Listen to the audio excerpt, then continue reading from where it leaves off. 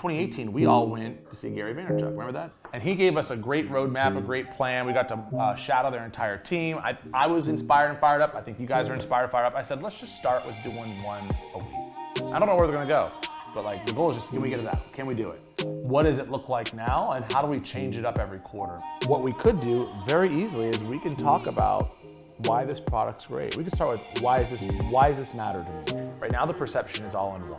That's what people talk about. People talk about this all in one platform. And truly it does not exist. It doesn't exist today. How could we shift the noise and the top from end to end all in one to what we think it really is? I think people are just like, well, we don't have this end to end. No one even can explain what end to end means. Like, what does that mean? I can have the perfect end to end solution, but the agent still got to use it. You still have adoption. That's the problem. And agents don't like change.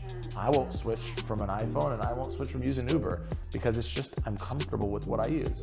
I can tell you right now, if I gave the broker and the agent said, here is the consumer portal, it's perfectly built, it has everything the consumer wants, we're all gonna have an opinion. Or they're gonna say, I wanna be able to turn on and off certain things.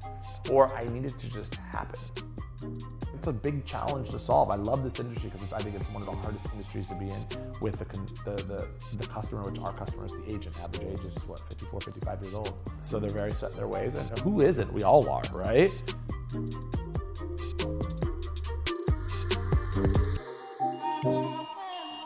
When I'm in this mindset, this space, and it's usually right after I work out in the morning. Um, I go home and it's still dark. It's around 5:45 when I'm done working out, and it's quiet, and I can just look over and, and think about things as I look out in, in the windows through Sacramento.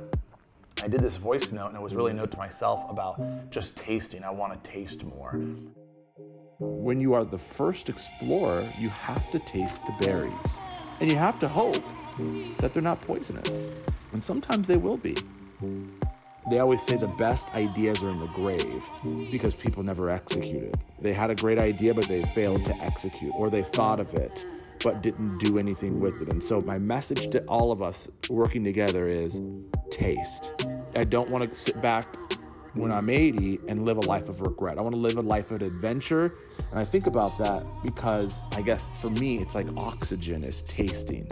It allows me to breathe. It allows me to adapt. It allows me to to learn, to grow, knowing that those berries may be poisonous, knowing that I'm going into new territory, white space, knowing that I may have it all wrong, but it's my oxygen.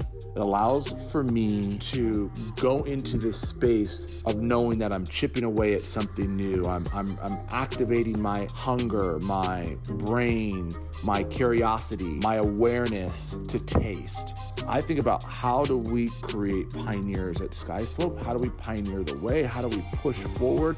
There's no playbook for this. It's new territory, right? Challenge yourself. Ask yourself. Ask me, what have you tasted today? What have you tasted this week? What have you tasted this month? We all were put on earth to be the best version of ourselves. Without tasting, it's almost like not breathing. When you are a pioneer, you have to taste. My theme for 2020 is to taste. Taste more and taste often.